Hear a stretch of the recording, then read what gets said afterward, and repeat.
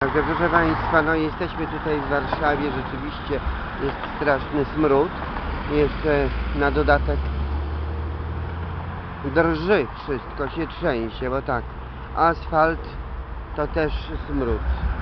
W tramwaju krzyk, trzask, no i po prostu używane są śmietniczki, bo wyrzucana jest Biblia